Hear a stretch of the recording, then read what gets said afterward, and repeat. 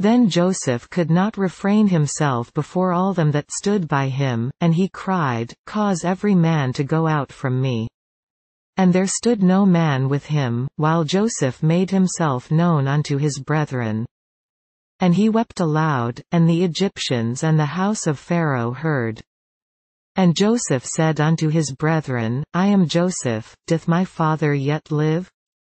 And his brethren could not answer him, for they were troubled at his presence. And Joseph said unto his brethren, Come near to me, I pray you. And they came near. And he said, I am Joseph your brother, whom ye sold into Egypt. Now therefore be not grieved, nor angry with yourselves, that ye sold me hither, for God did send me before you to preserve life. For these two years hath the famine been in the land, and yet there are five years, in the which there shall neither be earing nor harvest. And God sent me before you to preserve you a posterity in the earth, and to save your lives by a great deliverance. So now it was not you that sent me hither, but God, and he hath made me a father to Pharaoh, and lord of all his house, and a ruler throughout all the land of Egypt. Haste ye, and go up to my father, and say unto him, Thus saith thy son Joseph, God hath made me lord of all Egypt, come down unto me, tarry not. And thou shalt dwell in the land of Goshen, and thou shalt be near unto me, thou, and thy children, and thy children's children, and thy flocks, and thy herds, and all that thou hast. And there will I nourish thee, for yet there are five years of famine, lest thou, and thy household, and all that thou hast, come to poverty. And, behold, your eyes see, and the eyes of my brother Benjamin, that it is my mouth that speaketh unto you. And ye shall tell my father of all my glory in Egypt, and of all that ye have seen, and ye shall haste and bring down my father hither. And he fell upon his brother Benjamin's neck, and wept, and Benjamin wept upon his neck.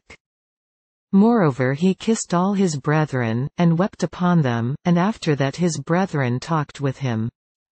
And the fame thereof was heard in Pharaoh's house, saying, Joseph's brethren are come, and it pleased Pharaoh well, and his servants. And Pharaoh said unto Joseph, Say unto thy brethren, This do ye, lade your beasts, and go, get you unto the land of Canaan. And take your father and your households, and come unto me, and I will give you the good of the land of Egypt, and ye shall eat the fat of the land. Now thou art commanded, this do ye, take you wagons out of the land of Egypt for your little ones, and for your wives, and bring your father, and come. Also regard not your stuff, for the good of all the land of Egypt is yours. And the children of Israel did so, and Joseph gave them wagons, according to the commandment of Pharaoh, and gave them provision for the way. To all of them he gave each man changes of raiment, but to Benjamin he gave three hundred pieces of silver, and five changes of raiment. And to his father he sent after this manner, ten asses laden with the good things of Egypt, and ten she-asses laden with corn and bread and meat for his father by the way. So he sent his brethren away, and they departed, and he said unto them, See that ye fall not out by the way. And they went up out of Egypt, and came into the land of Canaan unto Jacob their father and told him, saying, Joseph is yet alive, and he is governor over all the land of Egypt. And Jacob's heart fainted, for he believed them not. And they told him all the words of Joseph, which he had said unto them, and when he saw the wagons which Joseph had sent to carry him, the spirit of Jacob their father revived. And Israel said, It is enough, Joseph my son is yet alive, I will go and see him before I die. And Israel took his journey with all that he had, and came to Beersheba, and offered sacrifices unto the God of his father Isaac. And God spake unto Israel in the visions of the night, and said, Jacob, Jacob. And he said, Here am I. And he said, I am God, the God of thy father, fear not to go down into Egypt, for I will there make of thee a great nation. I will go down with thee into Egypt, and I will also surely bring thee up again, and Joseph shall put his hand upon thine eyes. And Jacob rose up from Beersheba, and the sons of Israel carried Jacob their father, and their little ones, and their wives, in the wagons which Pharaoh had sent to carry him.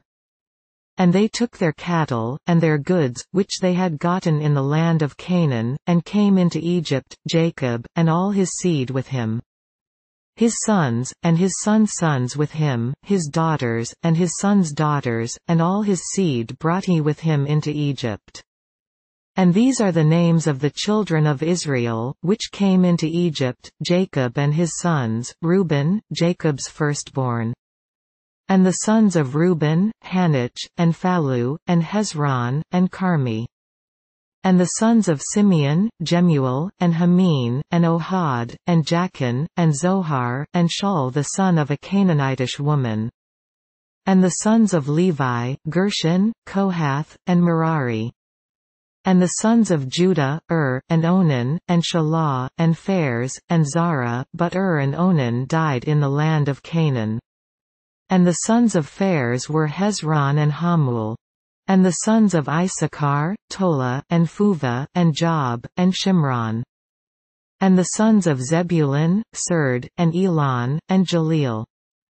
These be the sons of Leah, which she bare unto Jacob in Padanaram, with his daughter Dinah, all the souls of his sons and his daughters were thirty and three. And the sons of Gad, Ziphion, and Haggi, Shuni, and Ezbon, Eri, and Arodi, and Areli.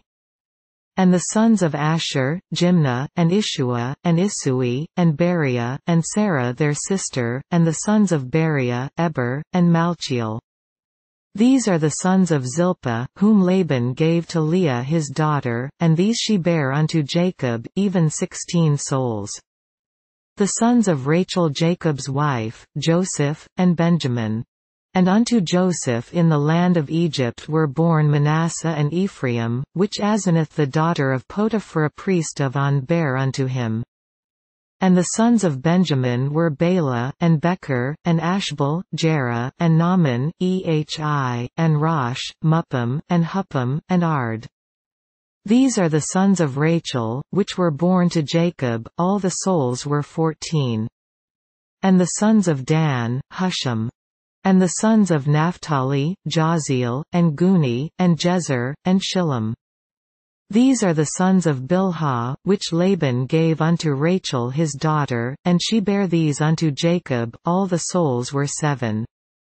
All the souls that came with Jacob into Egypt, which came out of his loins, besides Jacob's sons' wives, all the souls were threescore and six.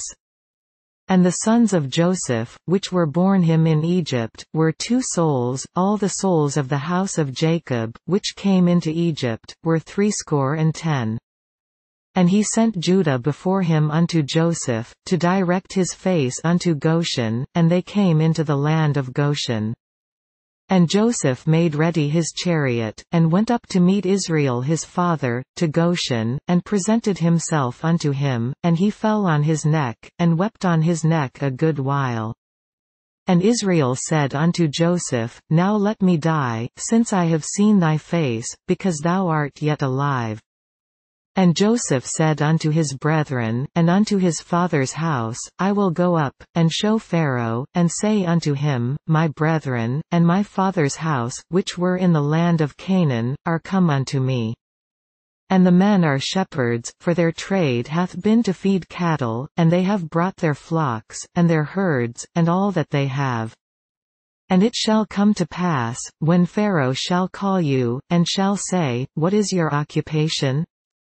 That ye shall say, Thy servant's trade hath been about cattle from our youth even until now, both we, and also our fathers, that ye may dwell in the land of Goshen, for every shepherd is an abomination unto the Egyptians.